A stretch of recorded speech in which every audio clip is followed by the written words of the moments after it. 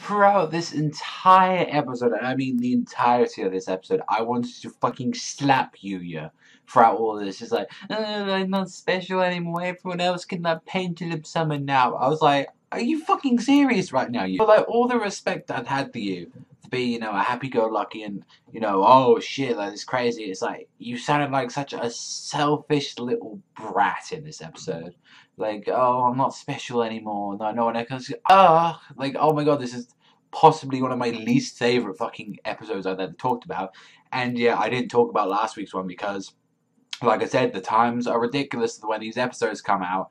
Even today, in a way, it's like it's looking ridiculous, although it was on time.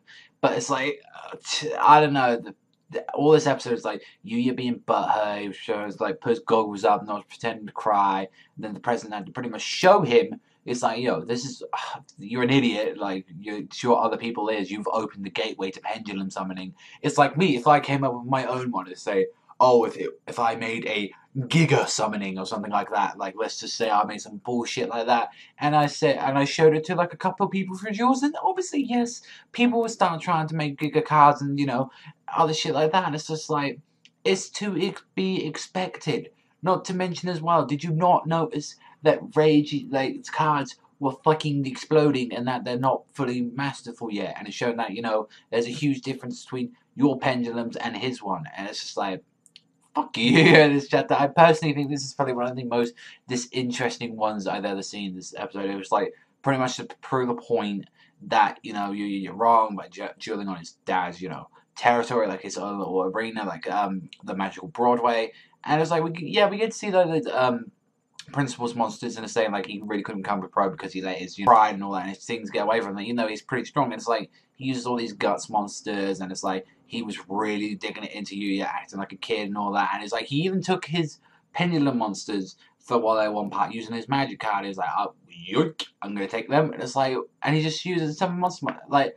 He didn't even deal any. I don't even think he really even dealt any damage throughout the scene. He was just there dicking around just trying to send him a message like that. I just didn't even feel like this was a duel this episode. It was just a lesson. And it's like we knew what the lesson was, but it was like it wasn't even interesting seeing any of his cards. It wasn't like to be honest, this episode was boring. It generally was. I felt like this episode was just boring. Like I, I kind of knew what was going on. The stuff with Reiji was a little bit more interesting. Like they proved, you know, like oh, you're in the Cold prayer. It's like Who's some character we don't even fucking know. Like um, attacked and is seen by this Dark Yuya or the Suchi Yuya from what we know. And just um, overall, that's pretty much the episode. Just joking around, and not to mention as well that Sora got a little bit her because he wasn't fighting and all that, and now he's less. So overall, I didn't really care for this episode. It was like a four for me, like a to a four out of ten, and that was mainly just because of the Yuya animation wasn't anything too special this episode. It's like it was the same thing. Monster Dad is using it. It was just pretty much just cut and dry. We knew what was going to happen from the start.